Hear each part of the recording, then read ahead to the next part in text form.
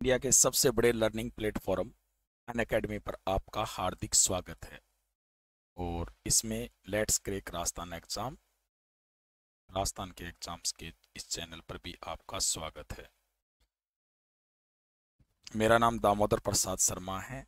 मैं एमए से MA history से हूँ नेट हूँ और बीएड भी किया है। मेरा टीचिंग एक्सपीरियंस 15 इयर्स का है। और मैंने 2018 में टीचर एग्ज़ाम भी क्लियर किया है। तो यदि आप अन अकेडमी का कोर्स लेते हो ज्वाइन करते हो कोर्स को तो इसमें आपको क्या मिलेगा? डेली लाइव क्लासेस आप अपने एजुकेटर के साथ चैट कर सकते हो उनके साथ डिस्कशन कर सकते हो अपने डाउट पूछ सकते हो और आंसर पोल में भी जा सकते हो। इसमें आपको मिलेगा लाइव टेस्ट एंड क्विजेज इसके बाद में आ, इसमें आप अपनी जो तैयारी है उसके बारे में मूल्यांकन कर सकते हो रेगुलर मॉक टेस्ट और क्विजेज में जा सकते हो। और अपने परफॉर्मेंस के बारे में जो एनालिसिस है वो कर सकते हो। इसमें मिलेगा आपको स्ट्रक्चर कोर्सेज आप सारे जो कोर्सेज हैं ना वो आपको एक ही लाइन में मिलेंगे, जो आपके एग्ज़ाम के तरीके से अच्छी प्रकार से तैयारी करवाएँगे। आपको मिलेगा अनलिमिटेड एक्सेस एक बार सब्सक्रिप्शन लेने के बाद आप लाइव और रिकॉर्डेड जो कोर्सेज हैं वो कंफर्टेबली आप देख सकते हो अपने डिवाइस पर। ठीक है? तो अभी चल रहा है mission RPSC, REET level second और आरपीएससी एसआई का, ठीक है ना? तो इसके जो एसआई वाला जो कोर्स है, ये मतलब फुल कोर्स है, आपको भर्ती आई हुई है, आपको पता है वैकेंसी आई हुई है, इसलिए अभी ज्वाइन कर लीजिए। और रीट का जो कोर्स है, वो भी क्रेश कोर्स है, इसमें आपको पूरा सिलेबस मिलेगा, सारी पीडीएफ मिलेगी आपको क्लासेज मिलेगी, वीडियो रिकॉर्डेड, ठीक है ना? और लाइव क्लासेज में मिलेंगी तो अभी आप ज्वाइन कीजिए। और यदि इसको ज्वाइन करोगे तो मेरा रेफरल कोड ज़रूर लगा देना डी पी एस टेन आपको टेन परसेंट का डिस्काउंट मिल जाएगा। ठीक है? अभी आर एस फाउंडेशन का बैच भी चल रहा है, ठीक है ना? आर एस फाउंडेशन है, उसका बैच भी चल रहा है जिसमें कि जो कि स्टार्ट हो रहा है फरवरी ट्वेंटी सेकेंड से, ठीक है ना? तो इसमें आप ज्वाइन कर सकते हो और इससे भी आप लोगे तो टेन परसेंट डिस्काउंट मिलेगा, यदि आप मेरा कोड यूज़ करोगे डी पी एस टेन ठीक है? तो अभी थोड़े दिन उपलब्ध हैं। मेरा कोड यूज़ कीजिए डी पी एस टेन और अभी सब्सक्राइब कीजिए क्योंकि कुछ दिनों बाद ये कम होने वाले डिस्काउंट फ्री और प्लस में आपको क्या फ़र्क है? फ्री में आपको मिलेगा लिमिटेड स्लेब्स प्लस में मिलेगा कंप्लीट स्लेब्स फ्री में आपको लिमिटेड प्रैक्टिस टेस्ट होंगे, जबकि प्लस में अनलिमिटेड प्रैक्टिस टेस्ट होंगे। फ्री में लिमिटेड पीडीएफ या नोट्स मिलेंगे, जबकि प्लस में अनलिमिटेड पीडीएफ या नोट्स मिलेंगे। ठीक है फ्री वाली क्लास में आपको doubt clearing session top educators के द्वारा दिए जाएँगे, जबकि प्लस में आपको रेगुलर डाउट क्लियरिंग सेशन है, वो टॉप एजुकेटर के द्वारा दिए जाएँगे। ठीक है प्लस फीचर्स की बात करें तो learn from your favourite educator complete exam preparation regular doubt clearing sessions उसके बाद excusing executive coverage of syllabus और उसके बाद फ्री टेस्ट सीरीज़ और वीकली फ्री मॉक टेस्ट ये चीज़ें आपको मिलेंगी। एक मार्च 2021 से जो डिस्काउंट है ना, वो टेन परसेंट से फाइव परसेंट होने जा रहा है, ठीक है ना? तो जल्दी कीजिए आप, क्योंकि 28 से पहले पहले करना पड़ेगा, बाद में जो प्लान है वो उसके अनुसार डिस्काउंट है वो फाइव परसेंट का मिलेगा। तो इसमें सबसे सही ट्वेल्व मंथ वाला है, यदि आप सेवन थाउज़ेंड का पड़ता है ये मतलब है सेवन थाउज़ेंड का, लेकिन यदि आप मेरा रेफरल कोड यूज़ करोगे डी पी एस टेन तो ये आपको पड़ेगा six thousand three hundred rupees में। ठीक है download Unacademy app Unacademy app को भी डाउनलोड कीजिए और इसे अनलॉक कीजिए फ्री प्लान के लिए मेरे D P S ten code को यूज़ करके। यानी मेरा जो कोड है डी पी एस टेन उसे यूज़ करो और फ्री प्लान अनलॉक कर सकते हो। ठीक है तो इसके लिए आपको बस प्ले स्टोर में जाना है और उसके बाद में N academy learning app download करना है उसके बाद आपको फ़ोन नंबर वगैरह से आपकी पूरी आईडी मिल बन जाएगी। ट्वेल्व मंथ का मैंने बताया कि seven thousand D P S ten use करोगे तो सिक्स थाउज़ेंड थ्री हंड्रेड में पड़ेगा क्योंकि आपको मिलेगा टेन परसेंट का डिस्काउंट। ट्वेंटी फोर मंथ का है ये एट थाउज़ेंड फोर हंड्रेड का है। यदि आप आ, मेरा कोड यूज़ करोगे डी पी एस टेन तो ये पड़ेगा seven thousand five hundred sixty rupees में ठीक है? तो अभी इसमें मैं लेके आया हूँ, आपका जो रीट एग्ज़ाम है अभी होने वाला है, आगे एसआई वाला एग्ज़ाम भी है तो इसमें मैं आपके लिए कुछ अच्छे पर्सन लेके आया हूँ जिसको जो पर्सन है उसके आंसर करके आप अपने आप को अच्छी प्रकार से एनालिसिस कर सकते हैं, ठीक है ना? तो कौन कौन से क्वेश्चन हैं, उनके बारे में अपन बता रहे हैं, ठीक है ना? वो क्वेश्चन अपने पढ़ेंगे ठीक है?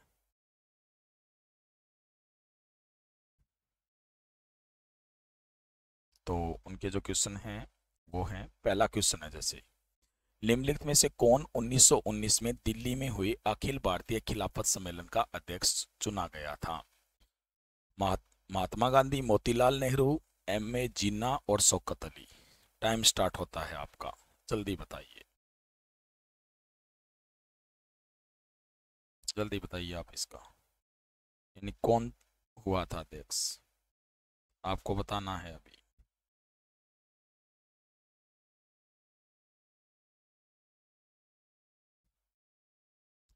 तो आपका टाइम जाने वाला है अभी। Six five four three two one one अभी हुआ है। ठीक है तो इसका जो आंसर होगा, वो होगा महात्मा गांधी। महात्मा गांधी। ठीक है, जैसा कि आपको पता है कि खिलाफत आंदोलन शुरू हुआ था। 1919 में, थोड़ा क्लियर भी कर देता हूँ आपको 1919 में स्टार्ट हुआ था। इसका कारण ये था कि जो प्रथम विश्व युद्ध हुआ था उस समय, कौन सा विश्व युद्ध हुआ था? प्रथम विश्व युद्ध हुआ था। और जो प्रथम विश्व युद्ध है, प्रथम विश्व युद्ध उसके बाद में क्या हुआ कि जो तुर्की है, वहाँ पर अधिकार कर लिया था ब्रिटेन और उसके मित्र राष्ट्रों ने, ठीक है ना, उस पर अधिकार कर लिया था। और ये क्या कर रहे थे? तुर्की का विभाजन करना चाहते थे। यानी तुर्की का विभाजन करना चाहते थे ये लोग, ठीक है ना? और इसीलिए अब जो तुर्की है, वहाँ के शासक को भारतीय मुसलमान अपना खलीफा मानते थे।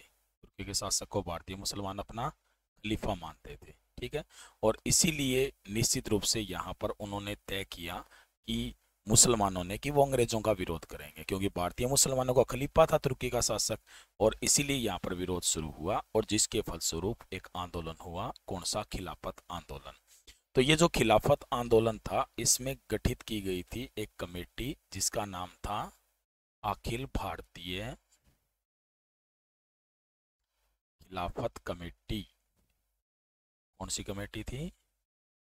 अखिल भारतीय खिलाफत कमेटी। ठीक है ना? तो अखिल भारतीय खिलाफत कमेटी का गठन किया गया था और अब ये जो खिलाफत आंदोलन है, इससे गांधी भी जुड़ गए। लोगों ने पूछा गांधी को, भी ये तो आंदोलन मुसलमानों का है, आप क्यों जुड़ रहे हो? अब गांधी जी बोले कि, हिंदू, मुस्लिम एकता का ऐसा स्वर्णिम अवसर अगले सौ वर्षों तक नहीं मिलेगा। ऐसा गांधी ने कहा। दरअसल क्या था कि जब क्रांति हुई, उसके बाद अंग्रेज़ों ने नीति शुरू की थी, फूट डालो और राज करो, जिसके बाद में हिंदुओं और मुसलमानों को अलग अलग करना शुरू किया अंग्रेज़ों ने। वैसे ऊपर से 1909 का अधिनियम भी तो आ गया था, जिसके बाद मुसलमानों को अलग जो निर्वाचन प्रणाली है मतलब पृथक निर्वाचन प्रणाली है, वो तय कर दी गई थी। और इसके कारण हिंदू मुसलमान अलग थे, लेकिन गांधी अब एक करना चाहते थे उन्हें और इसीलिए यहाँ पर वो इस खिलाफत आंदोलन में शामिल हुए थे। तो ये बहुत ही महत्वपूर्ण क्वेश्चन है और एग्ज़ाम में बहुत बार आता है। ठीक है ना? जैसे गांधी को अध्यक्ष चुना गया ये और एक ये भी बहुत बार आया हुआ है कि ऐसा गांधी ने कौन से आंदोलन के दौरान कहा था कि हिंदू मुस्लिम एकता का ऐसा स्वर्णिम अवसर अगले सौ वर्षों तक नहीं मिलेगा। तो आपको याद रखना है कि ये कहा था कौन से आंदोलन के दौरान? खिलाफत आंदोलन के दौरान। ठीक है? अब चलते हैं अपना नेक्स्ट क्वेश्चन में। निम्नलिखित में से किस एक के साथ भारत में सविनय अवज्ञा आंदोलन शुरू हुआ? दांडी मार्च, सरदार पटेल द्वारा कर रोको आंदोलन, नेहरू द्वारा राष्ट्रीय ध्वज का फहराया जाना या महात्मा गांधी का उपवास पर जाना? जल्दी कीजिए टाइम शुरू हो रहा है आपका। यानी ये क्वेश्चन क्या है कि आपको बताना है कि किस एक के साथ भारत में सविनय अवज्ञा आंदोलन शुरू हुआ था? डांडी मार्च, सरदार पटेल द्वारा कर रोको आंदोलन, नेहरू द्वारा राष्ट्रीय ध्वज का फहराया जाना या महात्मा गांधी का उपवास पर जाना? बताइए आप इस, कौन सा होगा इसमें? कौन सा होगा? ठीक है तो आंसर बता देता हूँ पहले आपको मैं, डांडी मार्च। यानी जो डांडी मार्च है ना, उसके साथ में ही स्टार्ट हुआ था सविनय अवज्ञा आंदोलन। डांडी मार्च लिख देते हैं अपन दांडी मार्च भी लिख देते हैं दांडी यात्रा भी लिख देते हैं, एक ही बात है। ठीक है दांडी यात्रा, ये भी बहुत महत्वपूर्ण है दोस्तों, ध्यान रखना बहुत इंपॉर्टेंट है ये, ठीक है? जो दांडी यात्रा है, ये स्टार्ट हुई थी साबरमती से। दांडी यात्रा कहाँ से स्टार्ट हुई थी? साबरमती से स्टार्ट हुई थी और ये जो यात्रा है, ये दांडी तक गई थी। साबरमती है, इसकी अपन बात करें तो साबरमती है, ये अहमदाबाद में पड़ता है। साबरमती कहाँ पे है? अहमदाबाद में, जबकि जो दांडी है, ये नौसारी में पड़ता है। दांडी कहाँ पे है? नौसारी में, ठीक है? तो ये साबरमती से यात्रा रवाना हुई थी 12 मार्च 1930 को। कब रवाना हुई थी? 12 मार्च 1930 को। जबकि दांडी में यात्रा पहुँची थी 5 अप्रैल 1930 को। दांडी में यात्रा कब पहुँची थी? 5 अप्रैल 1930 को पहुँची थी। ठीक है ना? तो याद रखना है कि इसमें कुल जो यात्री थे, उनकी संख्या उन्यासी थी और दोस्तों, इसमें कुल दूरी थी 200 मील। अब कई जगह पता नहीं कुछ कुछ लिख देते हैं 340 किलोमीटर, कई जगह लिख देते हैं 380 किलोमीटर, कई जगह तीन सौ चौरासी। कई जगह 335 तो आपको 200 मील याद रखना है, क्योंकि एनसीईआरटी में 200 मील ही लिखा है, और ज़्यादा किलोमीटर में आए ना तो 1.67 का मल्टीप्लाई कर लेना इस पर ठीक है ना? क्योंकि एक मील में कितने किलोमीटर होते हैं? 1.67 होते हैं। मैथ मेरे को भी आती है थोड़ी बहुत, ठीक है ना? तो 1.67 को मल्टीप्लाई करोगे तो ये लगभग फिर आपके आता है तीन सौ चौंतीस किलोमीटर आता है तो ये सही माना जाएगा। ठीक है? तो दूसरे क्वेश्चन का आंसर कौन सा हुआ दोस्तों? दांडी मार्च। चलते हैं नेक्स्ट क्वेश्चन में। अगला क्वेश्चन क्या कहता है? अगला क्वेश्चन कहता है, जलियावाला बाग हत्याकांड के पश्चात अपनी नाइट की उपाधि किसने त्याग दी थी? रविंद्रनाथ टैगोर, सत्येंद्रनाथ टैगोर, चित्रंजन दास या कोई नहीं? टाइम शुरू होता है आपका।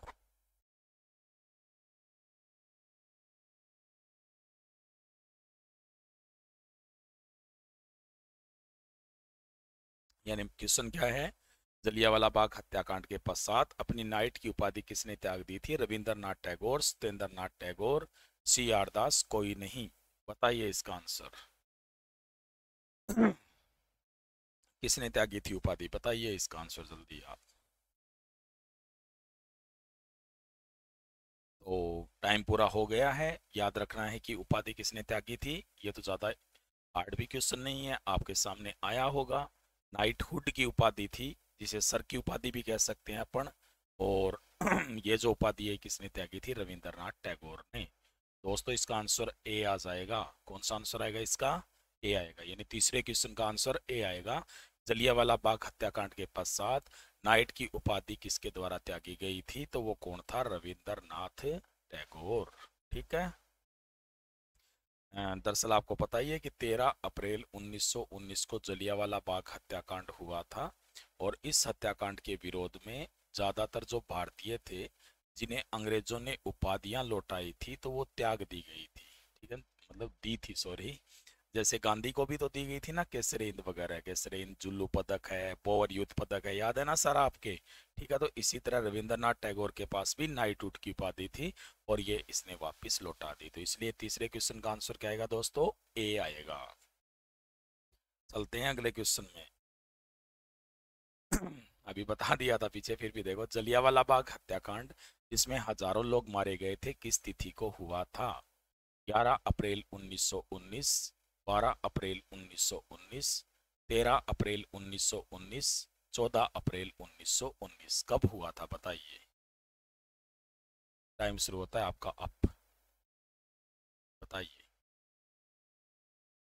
जलियावाला बाग हत्याकांड जिसमें हज़ारों लोग मारे गए थे किस तिथि को हुआ था? 11 अप्रैल 1919, 12 अप्रैल 1919, 13 अप्रैल 1919 या 14 अप्रैल 1919 बताइए। जलियावाला बाग हत्याकांड, जिसमें हज़ारों लोग मारे गए थे, किस तिथि को हुआ था? बताइए टाइम खत्म हो गया। ये तो आपको याद ही है, पिछले में मैंने आपको बता भी दिया था। सबको पता है, हर उस भारतीय को पता है, जिसे अपनी आज़ादी प्यारी है। तो ये कांड बहुत ही खतरनाक हुआ था। 13 अप्रैल 1919 को जनरल डायर ने नियति भीड़ पर गोलियाँ चला दी थी। वो भी बिना किसी चेतावनी के चलाई थी। और डायर ने अपने सिपाहियों से कहा था कि गोलियाँ तब तक चलाई जाए जब तक कि आपकी जो गन है, वो जवाब देना बंद न कर दे। तब तक गोलियाँ चलाइए, ऐसा कहा गया। ठीक है? तो उस, उसी कारण यहाँ पर हज़ारों लोग मारे गए थे और ये हुआ था तेरह अप्रैल 1919 को। ठीक है? जलियावाला बाग हत्याकांड। ठीक है? तो हज़ारों लोग मारे गए थे, लेकिन सरकारी आंकड़ा इसमें तीन आ रहा था। तो आपको पता ही है कि सरकारी आंकड़ा तो हमेशा कम ही होता है तो तीन सौ उन्यासी आ रहा था। ठीक है तो ये घटना तेरह अप्रैल 1919 को हुई। चलते हैं नेक्स्ट क्वेश्चन में फिर। भारत छोड़ो आंदोलन। भारतीय नहीं है ये, भारत है इसमें। सही कर देता हूँ मैं इसे। भारत छोड़ो आंदोलन। भारत छोड़ो आंदोलन के समय महात्मा गांधी को किस स्थान पर कैद रखा गया था? लाहौर जेल में, तिहाड़ जेल में आगा खां पैलेस में या सूरत में? बताइए, टाइम शुरू होता है अब। बताइए जल्दी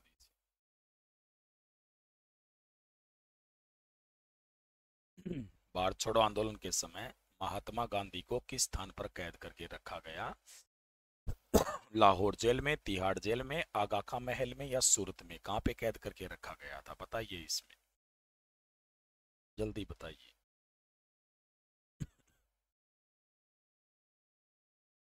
तो याद रखना है कि इन्हें रखा गया था आगा खां पैलेस में। तो आपको पता ही है कि भारत छोड़ो, आंदोलन जो स्टार्ट हुआ था ठीक है 9 अगस्त 1942 को गांधी को गिरफ़्तार किया गया। कंफ्यूज हो जाते हो, कई बार कई जगह लिखा होता आठ अगस्त, कई जगह नौ अगस्त तो कोई दिक्कत नहीं है, दोनों साथ में नहीं आएँगे। एक्चुअल में क्या था कि आठ अगस्त को आधी रात के समय स्टार्ट हो गया था भारत छोड़ो आंदोलन। ठीक है, महात्मा गांधी। महात्मा गांधी ने स्टार्ट किया था। ठीक है, गांधी ने कहा था, करो या मरो। ये कहा था गांधी ने। यानी गांधी ने कहा कि या तो हम भारत को आज़ाद करा लेंगे वरना मर जाएँगे। स्थायी जो गुलामी है, उसे देखने के लिए हम ज़िंदा नहीं रहेंगे। ऐसा किसने कहा था? महात्मा गांधी के द्वारा कहा गया था। ठीक है ना? तो इसी कारण कह सकते हैं कि इस, जैसे ही गांधी ने ऐसा कहा तो सारे लोग जुड़ गए थे गांधी के साथ। लेकिन गांधी को 9 अगस्त को ही अरेस्ट कर लिया गया और अरेस्ट करके उन्हें रखा गया था कहाँ पर? आगा खां पैलेस में। तो पाँचवें का जो ऑप्शन है वो कौन सा आएगा? सी आएगा। ठीक है? नेक्स्ट चलते हैं अपन। निम्नलिखित में से कौन सा आंदोलन चोरा चोरी घटना के कारण समाप्त हो गया? होम रूल आंदोलन असयोग आंदोलन, सविनय अवज्ञा आंदोलन, भारत छोड़ो आंदोलन। टाइम शुरू होता है आप यानी आपको बताना है कि निम्नलिखित में से कौन सा आंदोलन था जो चोरा चोरी घटना के कारण समाप्त हो गया था? होम आंदोलन असयोग आंदोलन, सविनय अवज्ञा आंदोलन या भारत छोड़ो आंदोलन? कौन सा समाप्त हुआ था? बताइए। जल्दी बताइए आप। कौन सा आंदोलन समाप्त हो गया? तो आपको पता ही है कौन सा आंदोलन समाप्त हो गया था? असयोग आंदोलन। यानी छठे क्वेश्चन का जो आंसर आएगा वो कौन सा आएगा? बी आएगा। छठे क्वेश्चन का आंसर कौन सा है? बी है। ठीक है? तो इसके चौरा चोरी जो घटना थी ना, उसके कारण ये समाप्त हो गया था। तो असयोग आंदोलन जिसका आंसर कौन सा आएगा? बी आएगा। ठीक है? तो इसमें असयोग आंदोलन के दौरान आपको पता ही है कि पाँच फरवरी उन्नीस सौ बाईस को सही नाम था पुलिस चौकी का। ये चोरी, चोरा चोरी लिख रखा है। ये छोरा छोरी नहीं, चोरी चोरा था। क्या था? चोरी चोरा। ठीक है ना? चोरी चोरा नामक पुलिस चौकी थी ये गोरखपुर में। और गोरखपुर आपको पता है कहाँ पड़ता है? यूपी में पड़ता है गोरखपुर। और यहाँ पर क्या है कि जो पुलिसकर्मी थे ना, उन, वो भीड़ को शांत कराने में लगे हुए थे। लेकिन उन्होंने तो भीड़ पर लाठी चार्ज कर दिया। जिसके बाद में जो भीड़ है, ये पूरी तरह से भड़क गई। भीड़ पूरी तरह से भड़क गई और उसके बाद पुलिस वाले भाग आए। पुलिस चौकी के अंदर गेट बंद कर लिया अंदर से और भीड़ ने आग लगा दी। ठीक है ना? जिसमें 22 पुलिसकर्मी ज़िंदा जल गए। यानी 22 तो इसमें जो पुलिसकर्मी ज़िंदा जले थे, इसमें 21 तो सिपाही थे और एक था बड़ी रैंक का अधिकारी। ठीक है ना? तो ये यहाँ पर ज़िंदा जल गए थे और इसी के कारण कौन सा आंदोलन स्थगित हो गया, समाप्त हो गया, असहयोग आंदोलन। ठीक है तो इसके लिए कहते हैं कि गांधी जी के पुत्र जो मणिलाल थे वहाँ पर, उन्होंने गांधी जी को तार भेजा था। ठीक है, और इसमें उनके द्वारा लिखा गया था कि निश्चित रूप से यहाँ पर ऐसी घटना हो चुकी है, इसलिए गांधी ने आंदोलन को समाप्त करने की घोषणा कर दी थी। तो इसलिए जो छठा क्वेश्चन है, उसका आंसर क्या आएगा? बी आएगा असहयोग आंदोलन। सातवां क्वेश्चन। 1824 से 1843 के मध्य बैरकपुर, सोलापुर, हैदराबाद तथा सिंध में विद्रोह किसके द्वारा हुआ? यानी 1824 से 1843 के मध्य बैरकपुर, सोलापुर, हैदराबाद तथा सिंध में विद्रोह किसके द्वारा हुआ था? जनता के द्वारा राजाओं के द्वारा, नेताओं के द्वारा, सैनिकों के द्वारा। टाइम शुरू होता है आपका। बताइए। किसने विद्रोह किया था, बताइए जल्दी।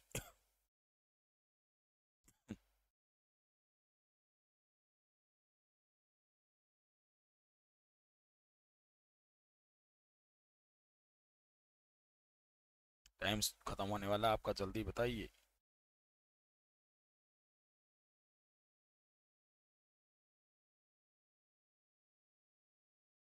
तो इसका जो आंसर आएगा वो आपको पता ही सैनिकों के द्वारा। किसके द्वारा हुआ था? सैनिकों के द्वारा। यानी जो सैनिक थे ना, उन्होंने विद्रोह किया था। ठीक है ना? सैनिकों के द्वारा ही विद्रोह किया गया था। ठीक है? तो इसलिए सातवें क्वेश्चन का आंसर कौन सा आएगा? डी आएगा। ठीक है?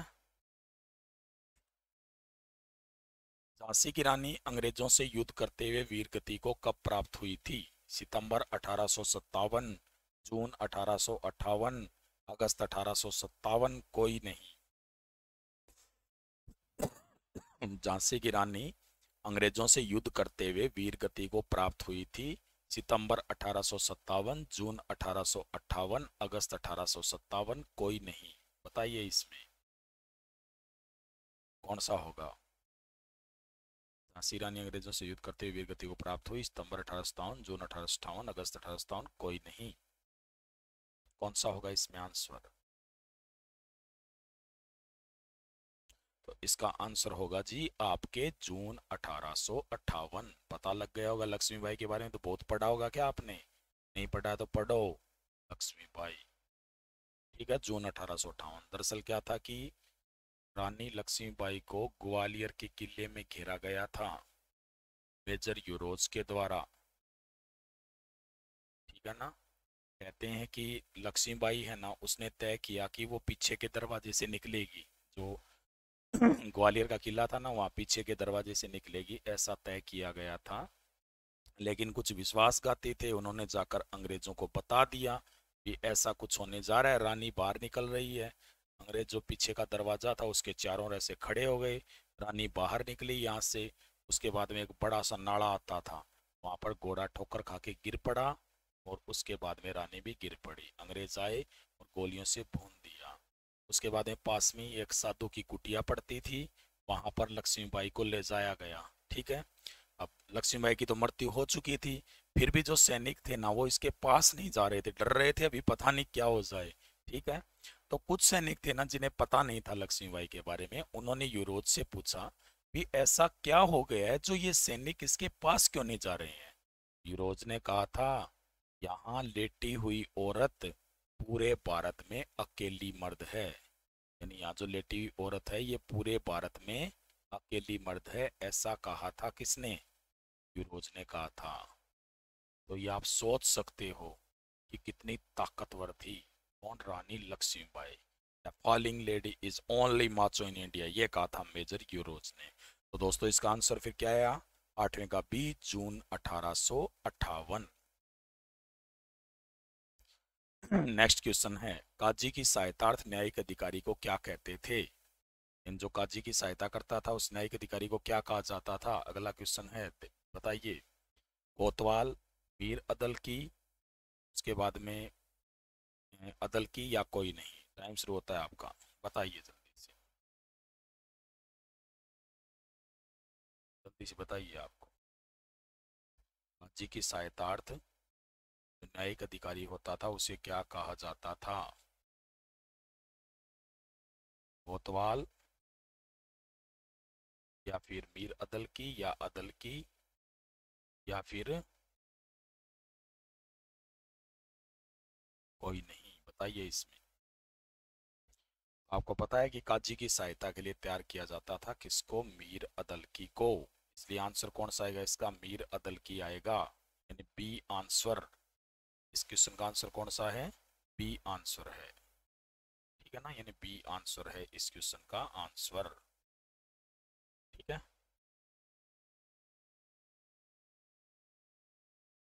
बी। नेक्स्ट चलते हैं। शेरशाह सूरी द्वारा भूमि के बंदोबस्त की तुलना की जाती है। स्थायी बंदोबस्त से या फिर रेतवाड़ी बंदोबस्त से या फिर महालवाड़ी से या फिर कोई नहीं, बताइए इसका। किससे की जाती है? शेरशाह की। टाइम शुरू होता है आपका। अब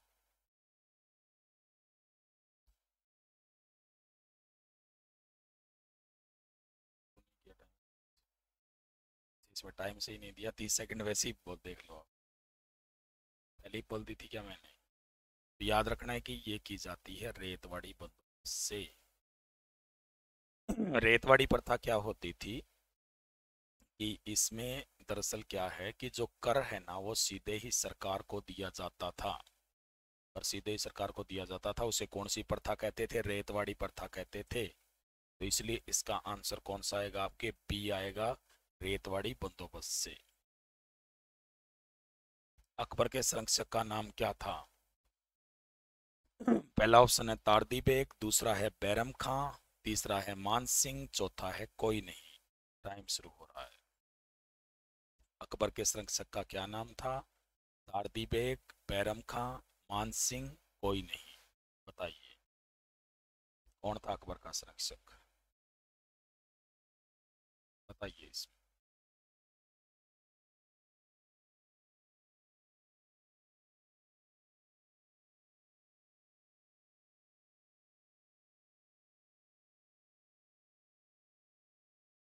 टाइम खत्म होता है आपका, ठीक है?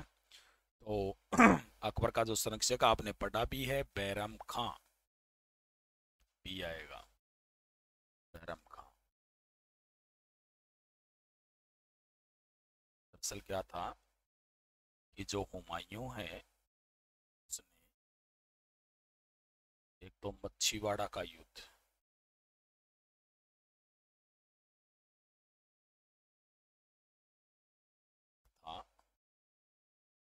सरहिंद का युद्ध ये दो युद्ध जीते थे किसने? इसके बाद में भारत में फिर से कौन से शासन की स्थापना हो गई थी? मुगल शासन की स्थापना हो गई थी। ठीक है ना? और मुगल शासन की स्थापना होने के बाद में बैरम खां मैन बन गया था। ठीक है ना? हुमायूं की मृत्यु हो गई, शासक बना अकबर। और अकबर का संरक्षक कौन बैरम खां। जो पानीपत का द्वितीय युद्ध हुआ था।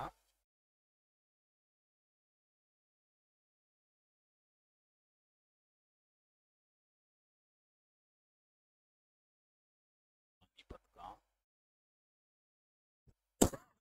द्वितीय युद्ध।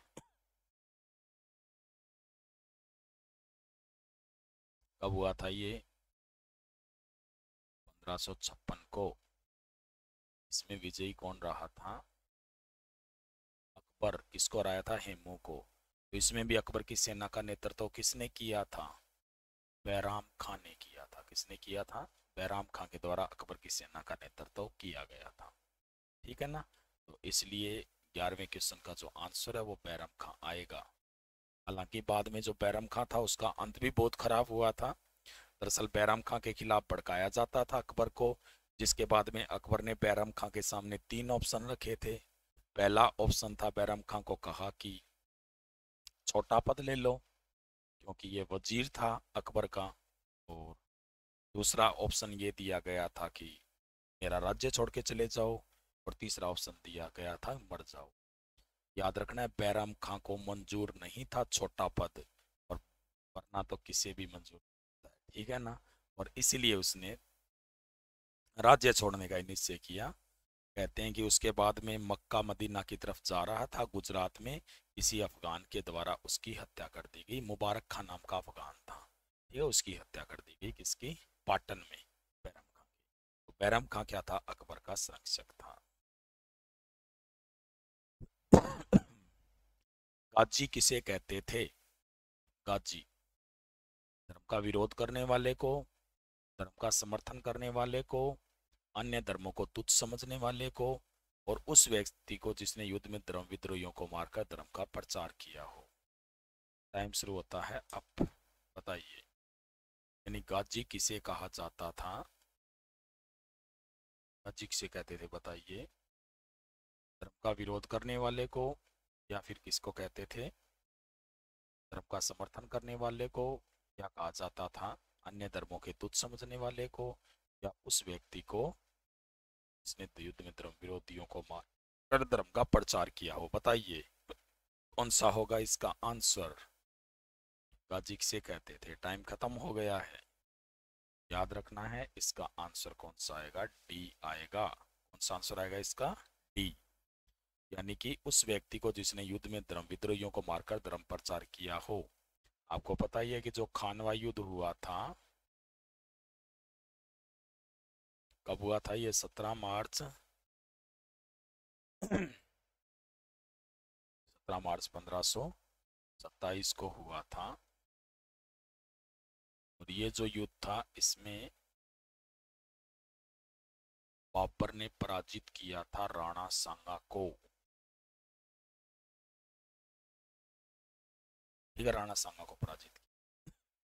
तो ये जो युद्ध हुआ था, इस युद्ध में सांगा को पराजित करने के बाद बाबर ने भी कौन सी उपाधि धारण की थी? गाजी की। तो गाजी की उपाधि इसलिए धारण की थी क्योंकि उसने कहा था कि मैंने किसको मारा है? धर्म विद्रोहियों को मारा है। उसे गाजी कहते थे। ठीक है? अब चलते हैं नेक्स्ट क्वेश्चन में। तेरवा क्वेश्चन है। सर्वाधिक भूमिकर लगाने वाला मुगल बादशाह कौन था?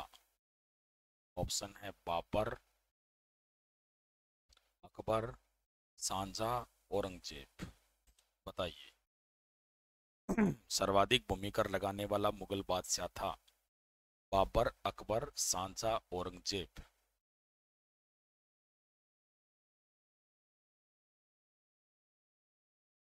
बताइए। सर्वाधिक भूमिकर किसने लगाया था? बाबर, अकबर सांझा औरंगज़ेब। कौन था? ठीक है तो इसका आंसर आएगा औरंगज़ेब। डी ऑप्शन आएगा। सर्वाधिक भूमिकर किसने लगाया था? औरंगज़ेब ने लगाया था। ठीक है ना? औरंगज़ेब के द्वारा सर्वाधिक भूमिकर लगाया इतना जो कर है ना, वो किसी के समय नहीं था, जितना किसके समय था? औरंगज़ेब के समय। महाराष्ट्र में भक्ति आंदोलन के सूत्रधार कौन थे? भक्ति आंदोलन के क्वेश्चन आ गए अब आपके सामने। कौन थे भी बताओ?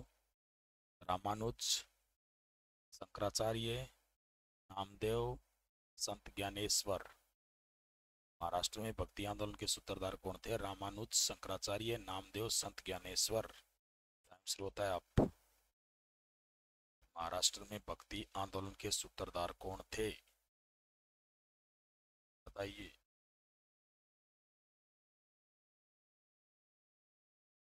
रामानुज शंकराचार्य। नामदेव या संत ज्ञानेश्वर कौन थे? बताइए।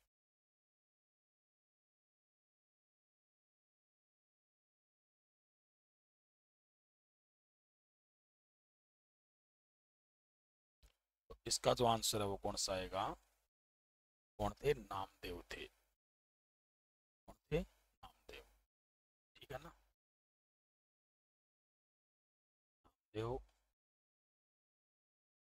के भगत थे। वैसे महाराष्ट्र में भक्ति आंदोलन है, ये दो भागों में बंटा था।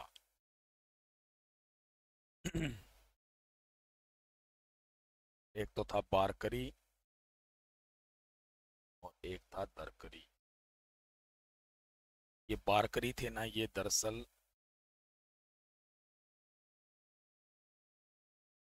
अनुयायी थे विठोबा के अनुयायी।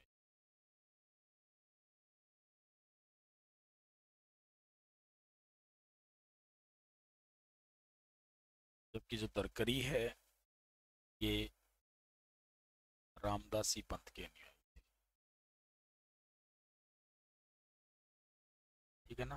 रामदासी पंथ के अनुयायी थे, कौन दरकरी ठीक है तो ये जो विठोबा के अनुयायी थे, इन्हें बारकरी कहा गया।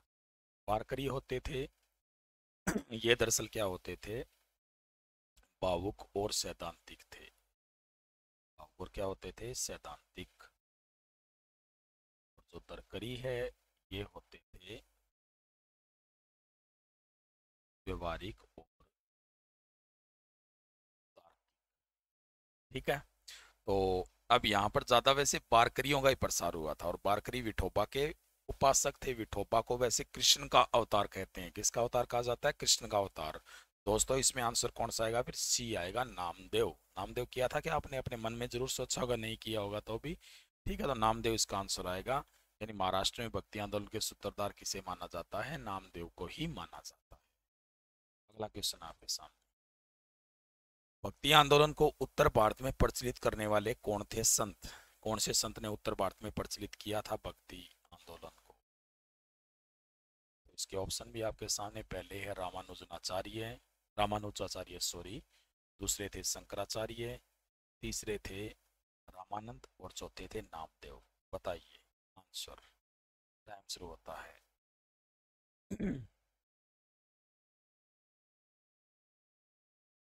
आंसर बताइए इसका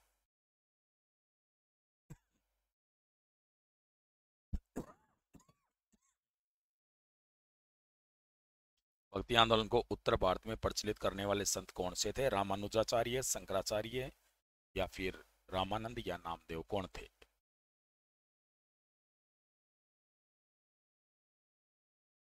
तो टाइम खत्म होता है आपका। याद रखना है कि इसके कौन थे? रामानंद। रामानंद। रामानंदाचार्य भी बोलते हैं। बहुत बड़े संत थे रामानंदाचार्य। ठीक है ना?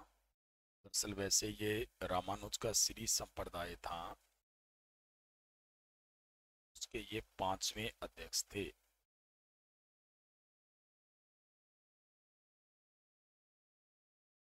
ठीक है ना? पाँचवें अध्यक्ष थे।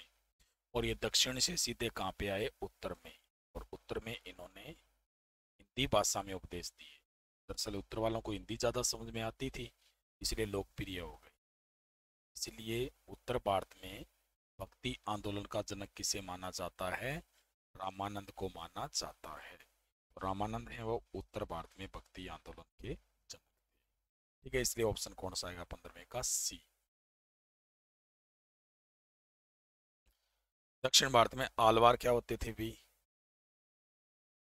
आलवार किसको कहते थे? शैव धर्मावलंबी को कहते थे, धर्मावलंबी, या वैष्णव धर्म वालों को कहते थे, या ब्राह्मण धर्म वालों को, या जैन धर्म, किसको कहते थे? दक्षिण भारत में आलवार। टाइम शुरू होता है अब।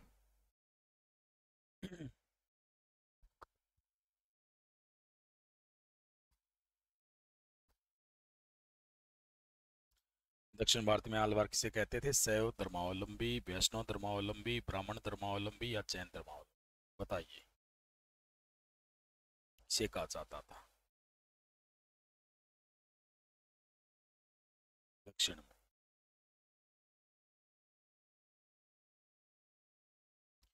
तो इसका आंसर आएगा सैव। सैव जो धर्मावलंबी थे, ये दक्षिण भारत में क्या थे? आलवार थे। इसका ऑप्शन कौन सा आ जाएगा? ए आ जाएगा। नहीं सॉरी गलत बोल गया मैं सॉरी वैष्णव को बोलते सॉरी सॉरी वेरी सॉरी ठीक है ना? बी ऑप्शन आएगा। कौन सा आएगा? बी यानी दरअसल दक्षिण भारत में है ना, दो प्रकार के संत थे। एक तो थे आलवार। आलवार तो किसको कहते थे? वैष्णव को। ठीक है ना? और एक थे नैनार। या नैनवार भी बोलते थे, ये किसको कहते थे? सैव को। ठीक है ना? तो मैंने पहले गलत बोल गया था सॉरी ठीक है तो दक्षिण भारत में जो आलवार संत थे, वो कौन थे? वैष्णव धर्मावलंबी इन वैष्णवों को क्या कहा जाता था? आलवार। पिछली बार रीट में आया था कि नैनवार किसको बोलते थे? ऐसे आया था। तो नैनवार किसको बोलते थे? सैव को बोलते थे। ठीक है? अगला क्वेश्चन अकबर ने किस संत के यहाँ पुत्र की प्राप्ति के लिए प्रार्थना की थी? नामदेव, सलीम चिश्ती, मोइनुद्दीन चिश्ती, निजामुद्दीन चिश्ती। किस संत के यहाँ? टाइम शुरू हो रहा है आपका। अकबर ने किस संत के यहाँ, अकबर ने किस संत के यहाँ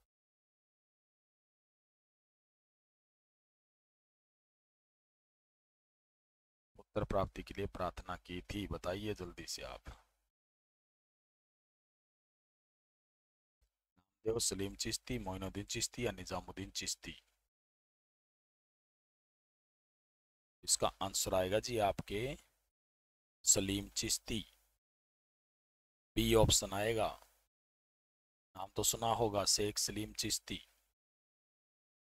बी दरअसल क्या है कि अकबर भी कौन से संप्रदाय से संबंधित थे? चिश्ती संप्रदाय से संबंधित थे। और उनके गुरु थे कौन? शेख सलीम चिश्ती। शेख सलीम चिश्ती इनके गुरु थे। ठीक है ना? तो शेख सलीम चिश्ती है वो इनके गुरु थे। तो इसलिए सत्रहवें क्वेश्चन का आंसर कौन सा आएगा? बी शेख सलीम चिश्ती ठीक है ना?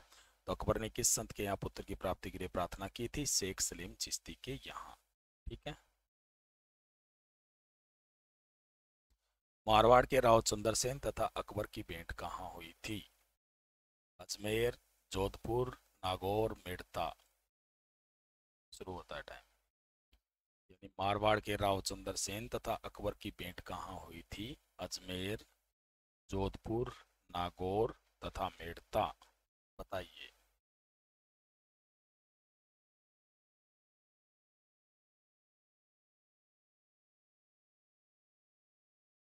मारवाड़ के राव चंद्रसेन तथा अकबर की भेंट कहाँ हुई थी? अजमेर, जोधपुर, नागौर तथा मेड़ता कहाँ हुई थी? तो याद रखना है, इनकी जो भेंट है, ये नागौर में हुई थी। कहाँ हुई थी भेंट इनकी नागौर दरअसल अकबर ने 1570 में राजपुताना के राजाओं को अधीन करने के लिए एक दरबार लगाया था। नागौर दरबार। और इस दरबार में चार रियासतों को आमंत्रित किया था। मारवाड़ मेवाड़ बीकानेर, जैसलमेर। इन चार रियासतों को आमंत्रित किया गया, ठीक है? तो लेकिन जो मेवाड़ है, उसने भाग लेने से इनकार किया था। मेवाड़ का राणा था उस समय उदय सिंह। मारवाड़ का कौन था? राव चंद्र सेन। बीकानेर का कौन था? राव कल्याणमल ये बीकानेर का था। और जो जैसलमेर है, वहाँ का कौन था? राय बाटी। ठीक है तो ये चार शासक थे। तो उनमें से उदय सिंह ने तो आने से ही मना कर दिया था, नहीं आया था। तीन रियासतें आई थी। तो रावचंद्र सेन के बारे में राजस्थानी साहित्यों में लिखा गया है कि रावचंद्र सेन दरबार में उपस्थित तो हुआ, लेकिन अधीनता स्वीकार नहीं की।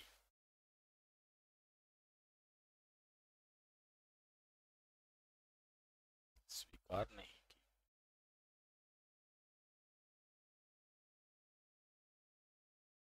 ठीक है ना अधीनता स्वीकार इसके द्वारा नहीं की गई थी। कहते हैं कि इसका कारण ये था कि इसके दो भाई बैठे हुए थे वहाँ पे। एक का नाम था उदय सिंह और एक का नाम था राम सिंह। उदय सिंह था, दूसरा कौन था? राम सिंह। तो उदय सिंह और राम सिंह है। उदय सिंह और राम सिंह। इन दोनों का, इन दोनों की तरफ़ झुकाव था किसका? अकबर का।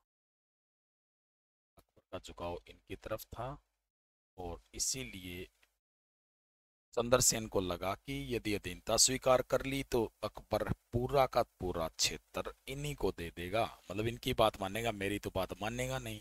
ठीक है तो इसीलिए चंद्रसेन बिना अधीनता स्वीकार किए दरबार से वापिस लौट आया था और उसने अधीनता को स्वीकार नहीं किया। तो इसलिए जो अठारवा जो क्वेश्चन है, उसका आंसर कौन सा आएगा? नागौर मुलाकात कहाँ हुई थी? नागौर। सी आंसर आएगा ठीक है, अब चलते हैं आगे अपन। कौन से क्वेश्चन में उन्नीसवें। फारसी इतिहासकारों ने हसमत वाला, हसमल नहीं है, ये हसमत है। सही कर देता हूँ। फारसी इतिहासकारों ने हसमत वाला राजा किसे कहा है? पहला ऑप्शन है शेर शाह सूरी, दूसरा है अकबर, तीसरा है राव मालदेव, चौथा है वीर दुर्गादास टाइम शुरू होता है आपका। फारसी इतिहासकारों ने हसमत वाला राजा किसे कहा था, बताइए।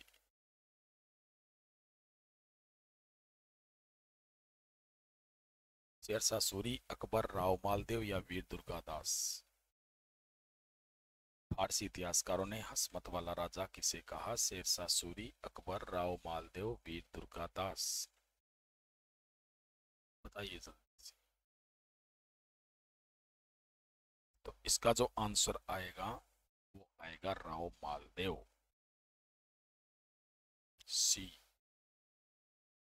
ये इसका आंसर है। राव मालदेव, जो मारवाड़ का शासक था।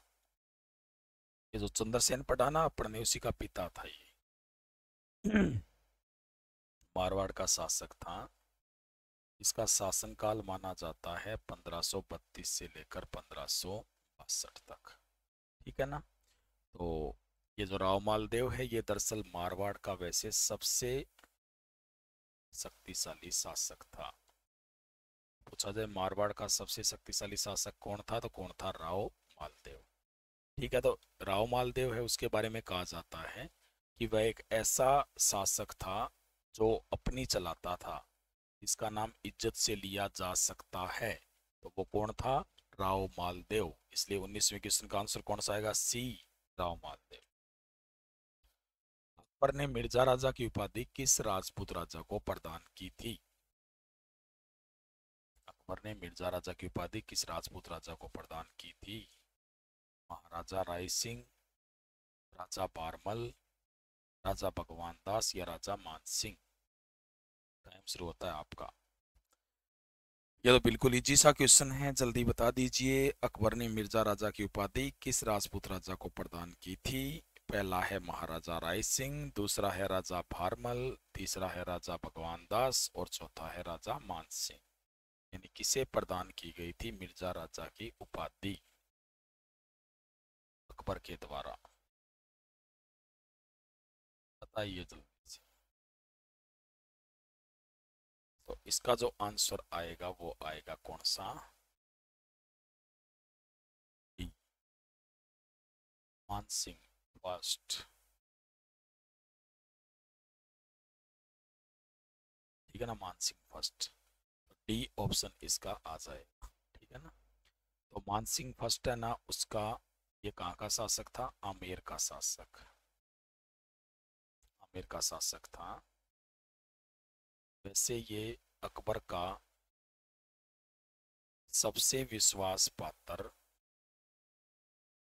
राजपूत शासक था।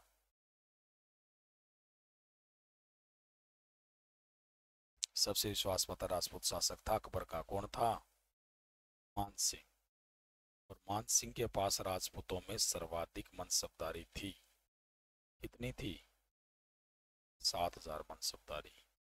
यानी इतनी मनसबदारी और किसी के पास नहीं थी जितनी मान सिंह के पास थी। मान सिंह का जो राज्याभिषेक है इन मानसिंह का जो राज्याभिषेक है, ये हुआ था पंद्रह सौ नवासी में।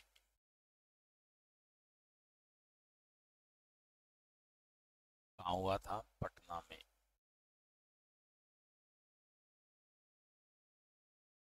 और मान सिंह को जब राज्याभिषेक किया था पटना में, तभी से अकबर ने क्या कहा था? मिर्ज़ा राजा। जैसे आपको पता ही है, मान सिंह की जो एक और उपाधि थी, वो कौन सी थी? फरचंद।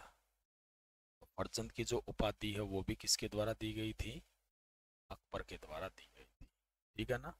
तो इसलिए जो बीसवा क्वेश्चन है, उसका आंसर कौन सा आएगा? डी राजा मान सिंह ठीक है? अगला क्वेश्चन है, राणा प्रताप के समान स्वतंत्रता प्रेमी शासक किसे कहा जाता है? प्रताप का अग्रगामी। तो ऑप्शन है आपके सामने, राव मालदेव राणा सांगा, राव चंद्रसेन, वीर दुर्गादास टाइम शुरुआत राणा प्रताप के समान, स्वतंत्रता प्रेमी शासक प्रताप का अग्रगामी किसे कहा जाता है? राव मालदेव, राणा सांगा या राव चंद्रसेन या वीर दुर्गादास बताइए किसे कहा जाता है? बताइए जल्दी।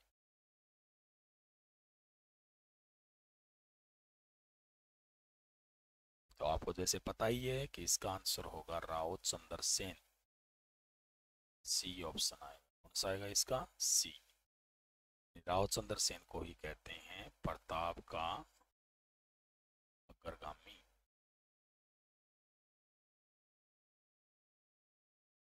ठीक है, इसे मारवाड़ का प्रताप भी कहा जाता है। इसे कहते हैं राजस्थान का भूला बिसरा राजा। ये इसके नाम है चंद्र सेन के। याद रख लेना सब। इसे कहते हैं बिना ताज वाला राजा। बिना ताज वाला राजा भी किसी को कहा गया राव चंद्रसेन को कहा गया है। ठीक है ना? तो ये प्रताप का अग्रगामी था, राणा प्रताप के समान था। कौन? राव चंद्रसेन ठीक है? तो आपको याद रखना है, रावचंद्र सेन ये मारवाड़ का शासक था। दरअसल प्रताप ने तो मुगलों का विरोध शुरू किया था पंद्रह के बाद में, लेकिन इसने पहले ही शुरू कर दिया था, ठीक है ना? प्रताप से पहले ही शुरू किया, इसीलिए इसे प्रताप का अग्रगामी कहते हैं। तो चंद्रसेन के बारे में कई क्वेश्चन है, जैसे आए हुए सारे एग्ज़ाम में, जो मैं रिपीट कर रहा हूँ आपके सामने। एक तो यही था अब यहाँ पे स्वतंत्रता प्रेमी शासक नहीं था, ऐसे था कि राणा प्रताप के समान मारवाड़ का कौन सा शासक था? रावचंद्र सेन। एक क्वेश्चन ऐसे आया था कि जैसे मेवाड़ में महाराणा प्रताप ने मुगलों के खिलाफ संघर्ष किया था, वैसे मारवाड़ में मुगलों के खिलाफ संघर्ष किसने किया था? तो उसका आंसर भी कौन सा आया था? राव चंद्रसेन ठीक है, उसके बाद में अगला क्वेश्चन था कि मारवाड़ का ऐसा शासक कौन था जिसने जंगलों और पहाड़ों की अपेक्षा, जंगलों और पहाड़ों को सॉरी जंगलों और पहाड़ों को महलों और दुर्गों की अपेक्षा सुरक्षित माना था। तो वो भी कौन था? राव चंद्रसेन। मारवाड़ का ऐसा कौन सा शासक था जिसने अंत तक मुगलों से संघर्ष किया, लेकिन उसने अपना सर नहीं झुकाया था? तो वो भी कौन था शासक? राव चंद्रसेन। तो इसलिए इक्कीसवें क्वेश्चन का आंसर कौन सा आएगा? सी आएगा राव चंद्रसेन। अगला क्वेश्चन। मुगलकालीन इतिहास में संबंधित स्थानों की वर्तमान स्थिति को दर्शाने वाला कौन सा जोड़ा सुमिलित नहीं है? भद्राजुन, जालोर, मेड़ता, नागौर, सोजतपाली, सिवाना, जोधपुर। बताइए।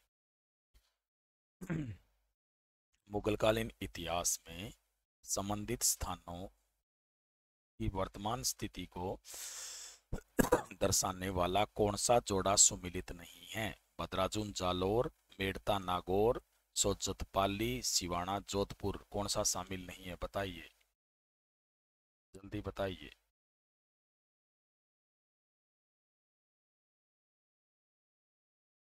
कौन सा सम्मिलित नहीं जैसा कि आपको इसमें दिख रहा है, इसमें सुमिलित नहीं है सिवाना जोधपुर। डी ऑप्शन कौन सा आएगा? डी सिवाना जोधपुर, क्योंकि जो सिवाना है, ये कहाँ पे पड़ता है? बाड़मेर सिवाना कहाँ पे है? बाड़मेर में पड़ता है, ठीक है ना? तो इसलिए इसका ऑप्शन कौन सा आएगा? डी आएगा सिवाना जोधपुर, ठीक है ना? तो ये वर्तमान स्थिति दर्शाने वाला जोड़ा सुमिलित नहीं है, कौन सा? सिवाना जोधपुर। तो इसलिए ऑप्शन कौन सा आ जाएगा इसका? डी ऑप्शन आ जाए। ठीक है? भारतीयों ने सिक्का डालना किस देश से सीखा था? चीन से सिक्का डालना है, ये डालना नहीं है, ठीक है? चीन से, इंडोनेशिया से, लंका से या यूनान से किसे सीखा था, बताइए?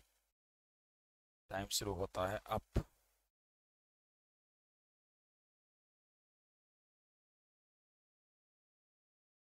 भारत ने सिक्का डालना किस देश से सीखा था?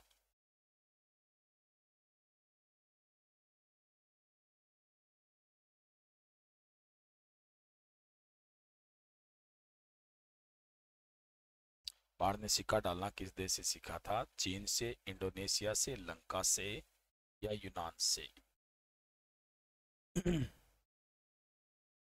टाइम खत्म हो गया है। आंसर आएगा इसका यूनान से।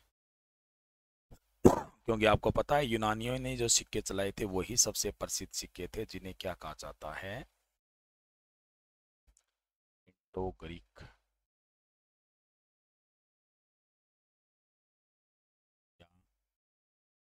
हिंद यवन सिक्के।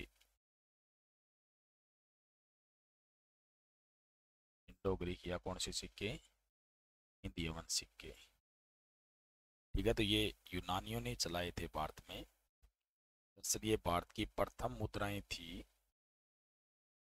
भारत की ये प्रथम मुद्राएँ थी, जिन पर तिथि का उल्लेख किया गया था। ठीक है ना? तो यूनानी आए ना भारत में, यूनानी समझ गए ना, कुषाण ऊण ये सारे यूनानी तो थे, शक यो, जो, यहाँ पर कुषाण, ठीक है ना ऊण ये यूनानी थे। तो इन्होंने ही सबसे पहले कह सकते हैं भारत में बड़ी संख्या में सिक्के चलाए थे और इन्हीं से भारतीयों ने सिक्का डालना सीखा था। तो तेईसवें का आंसर कौन सा आएगा? यूनान। ईसा पूर्व तीसरी सदी में किसके शासनकाल में बौद्ध धर्म प्रचारक श्रीलंका भेजे गए? ऑप्शन आपके सामने चंद्रगुप्त मौर्य, सम्राट अशोक, बिंदुसार कुणाल। टाइम शुरू होता है अब। ईसा पूर्व तीसरी सदी में किसके शासनकाल में बौद्ध धर्म प्रचारक प्रचाकर नहीं है, प्रचारक। क्या है ये? प्रचारक।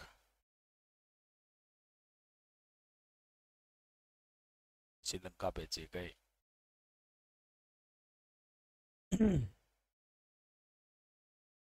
चंद्रगुप्त मौर्य सम्राट अशोक बिंदुसार कुणाल। तो याद रखना है सम्राट अशोक। ये प्रथम शासक थे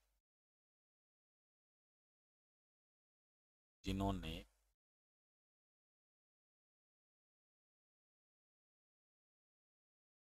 बौद्ध धर्म का प्रसार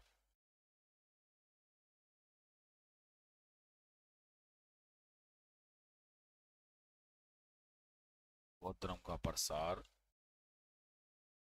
विदेशों में किया ठीक है तो प्रथम शासक थे, ठीक है?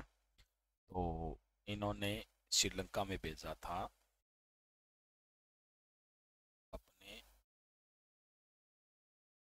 पुत्र जिसका नाम क्या था महेंद्र और पुत्री जिसका नाम क्या था संगमित्र भेजा गया था विदेशों में ठीक है ना?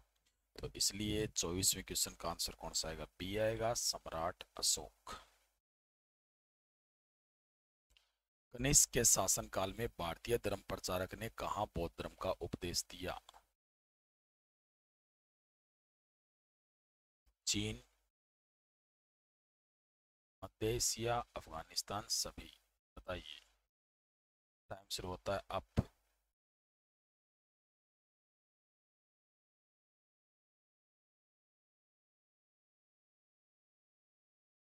कनिष्क के काल में भारतीय धर्म प्रचारक ने, प्रचारकों ने बौद्ध धर्म का उपदेश कहाँ दिया था? चीन, मध्य एशिया, अफ़गानिस्तान सभी।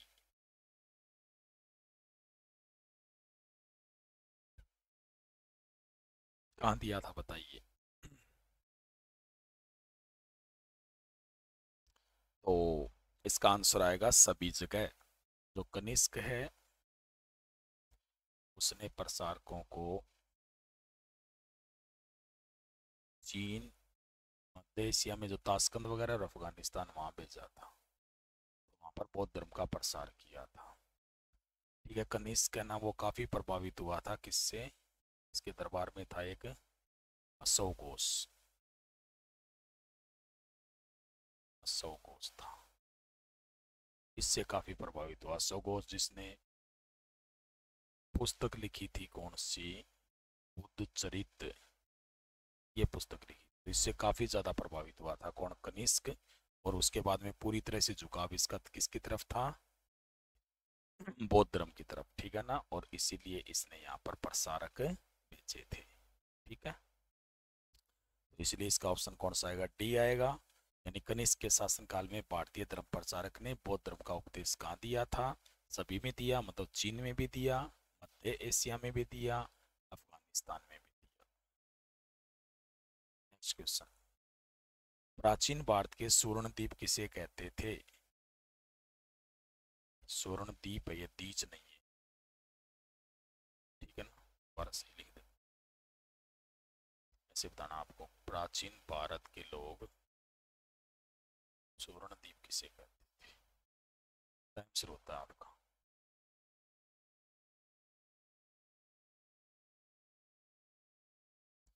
प्राचीन भारत में स्वर्णदीप से कहा जाता था, बताइए।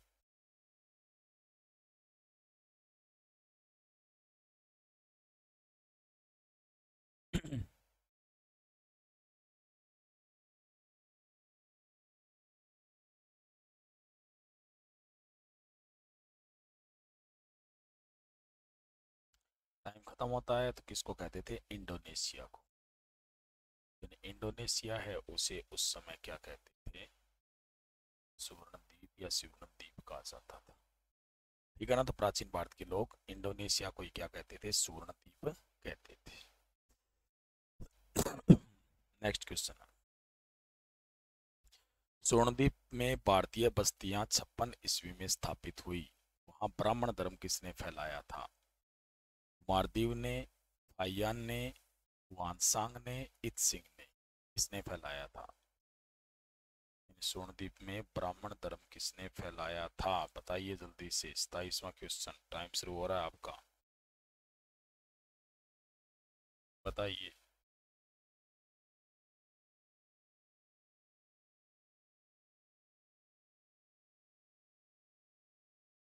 फैलाया था? बताइए।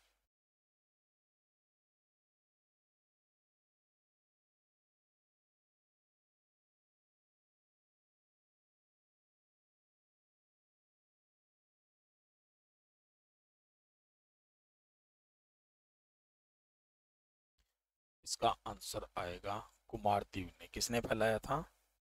कुमार जीव ब्राह्मण धर्म। का प्रसार।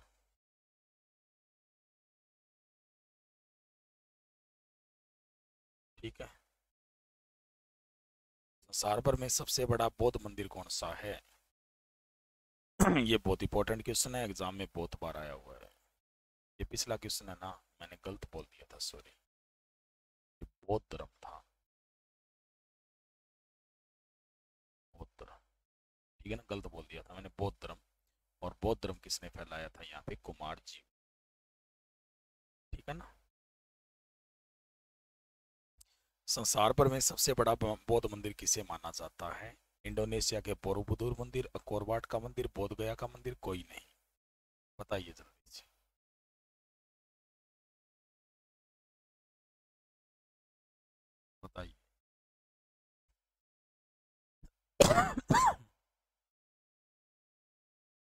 संसार भर में सबसे बड़ा बौद्ध मंदिर किसे माना जाता है? इंडोनेशिया का बोरोबुदूर मंदिर, बोरवाट का मंदिर बोध गया का मंदिर, इनमें से कोई नहीं। कौन सा आएगा इसमें? तो इसमें आएगा इंडोनेशिया का बोरोबुदूर मंदिर। ए ऑप्शन आएगा।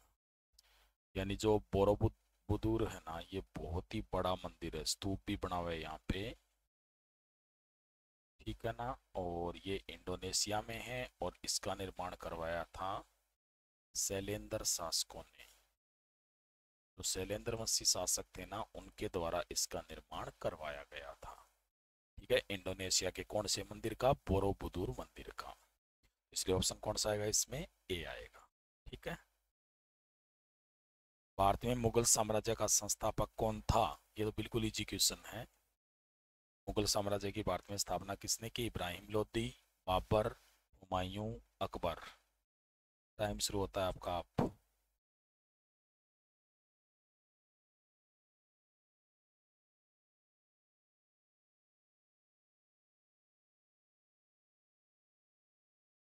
बताइए जल्दी से।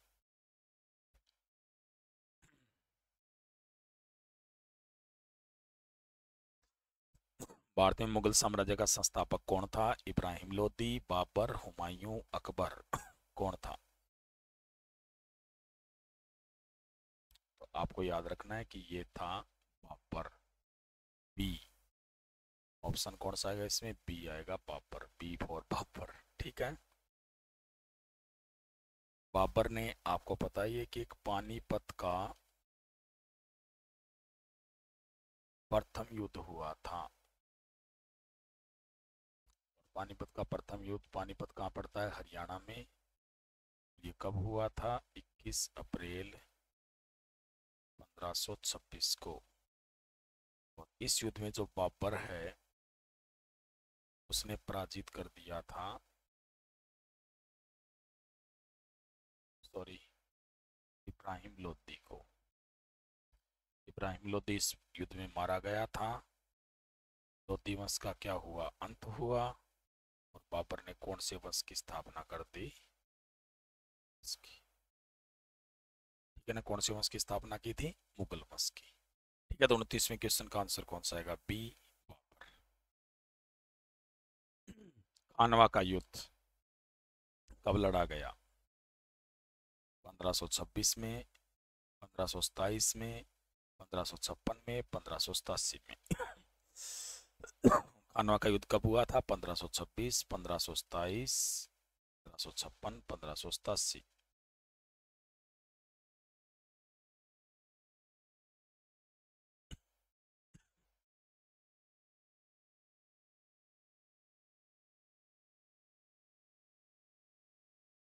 खानवा का युद्ध 1526 1527 1556 1587 कब हुआ था, बताइए? खानवा का युद्ध कब लड़ा गया था? खानवा का युद्ध। खानवा कहाँ पे है भरतपुर में। और ये युद्ध हुआ था 17 मार्च 1527 को। और ये जो युद्ध हुआ था इसमें राणा सांगा है, उसका संघर्ष हुआ था किसके साथ? बाबर के साथ। और इसमें विजयी कौन रहा था? बाबर रहा था ठीक है। इसलिए इसका ऑप्शन कौन सा आएगा? फिर बी पंद्रह सौ सत्ताईस। खलीफा षडयंत्र किससे द्वारा किसे शासक बनाना चाहता था? हुमायूं को अकबर को मेहंदी खवाजा को स्वयं को। यानी क्वेश्चन क्या है कि खलीफा षड्यंत्र द्वारा जो खलीफा था उसने षड्यंत्र द्वारा किसे शासक बनाना चाहा था? हुमायूं को, अकबर को, उसके बाद में मेहंदी खवाजा को या स्वयं को किसे बनाना चाहता था? बताइए। हुमायूं, अकबर, मेहंदी खवाजा या स्वयं को?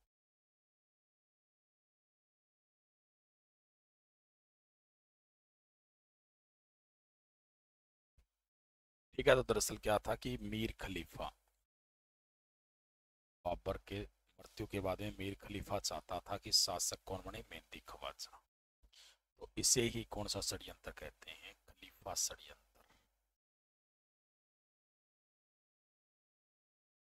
ठीक है ना? तो ये शासक किसे बनाना चाहता था? मेहंदी खवाजा को। ठीक है तो इकतीसवें का ऑप्शन कौन सा आएगा? सी आएगा।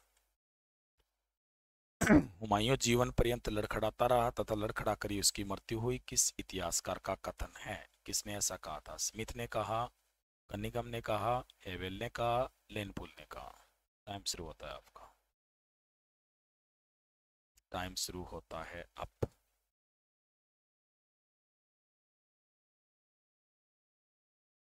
कौन सा आंसर आएगा? हुमायूं जीवन पर्यंत लड़खड़ाता रहा, तथा लड़खड़ा कर ही उसकी मृत्यु हुई, ऐसा किसका कथन है? बताइए। किसका है? याद रखना है कि यह कथन है। लेनपुल ने हुमायूं के बारे में कहा था कि हुमायूं है, उसका अर्थ होता है भाग्यशाली।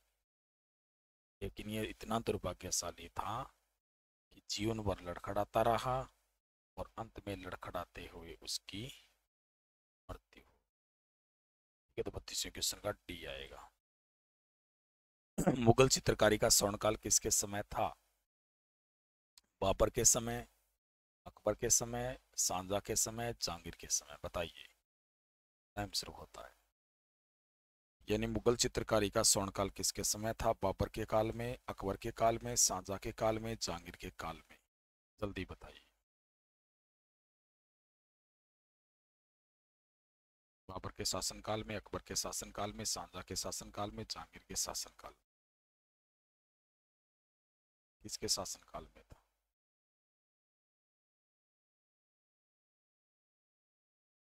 बताइए। तो इसका जो आंसर आएगा, वो आएगा जहांगीर के शासनकाल में मुगल चित्रकारी का स्वर्णकाल था।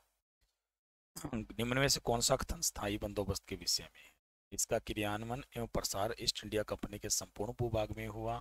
इसका प्रसार मद्रास प्रेसिडेंसी के बाहर नहीं हुआ यह बम्बई प्रेसिडेंसी तक ही सीमित था और इसका क्रियान्वयन बंगाल, बिहार तथा उड़ीसा के भूभागों में किया गया।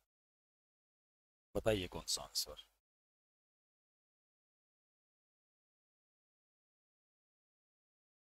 कौन सा कथन स्थायी बंदोबस्त के विषय में सही है? क्रियान्वयन बंगाल, बिहार तथा उड़ीसा के भूभागों में किया गया। Mumbai presidency, Madras presidency East India. याद रखना है, यहाँ पे था। इसमें डी ऑप्शन आए। तो आपको पता ही है कि किसने लागू की थी?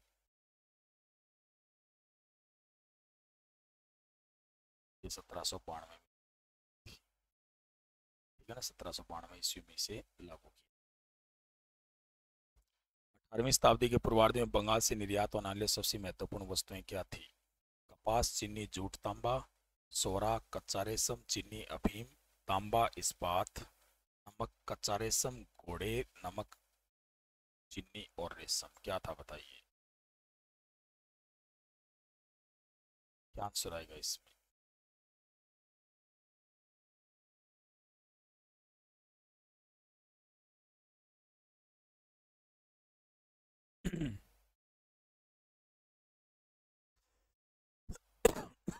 ए ऑप्शन आएगा, कपास, चीनी, जूट और तांबा। इन सबसे ज़्यादा किसका होता था? कपास, चीनी, जूट और तांबा का सर, थॉम्स मुनरो किस बुरासों से संबंधित हैं? स्थायी बंदोबस्त, महालवाड़ी बंदोबस्त, रेतवाड़ी? कोई नहीं। सर, थॉम्स मुनरो किससे संबंधित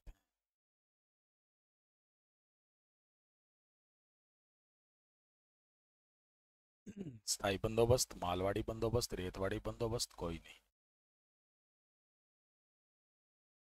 बताइए, सर थॉमस मुनरो किस पुरासो बंदोबस्त से संबंधित है? स्थायी, मालवाड़ी, रेतवाड़ी, कोई नहीं। बताइए जल्दी इसका आंसर आएगा, सी, रेतवाड़ी से। ब्रिटिश शासन के दौरान भारत में उद्योगों का कोई स्वतंत्र विकास नहीं हुआ। इसका कारण क्या था? भारी उद्योगों का अभाव, विदेशी पूंजी कमी, प्राकृतिक साधनों की कमी धनिक वर्ग वो संपत्ति में निवेश करने को प्राथमिकता। बताइए।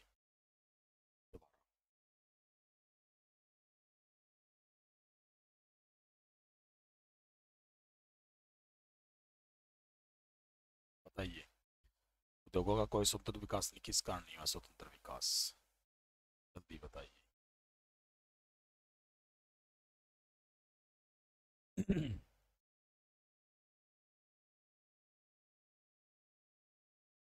बताइए। इसका ऑप्शन कौन सा जाएगा डी धनिक वर्ग, द्वारा भू संपत्ति में निवास करने को प्राथमिकता। ठीक है तो दोस्तों, ये आज का टेस्ट आपको कैसा लगा? कमेंट में लिख के ज़रूर बताइएगा। वीडियो को शेयर और लाइक ज़रूर कर दीजिएगा।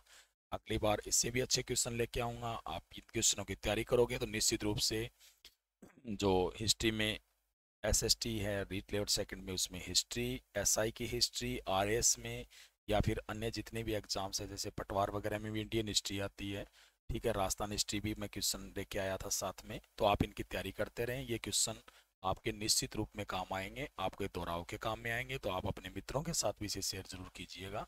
धन्यवाद। थैंक यू अन अकेडमी के इस चैनल को शेयर ज़रूर कीजिएगा, राजस्थान तीन सौ साठ को। मिलते हैं फिर अगली क्लास में तब तक के लिए धन्यवाद।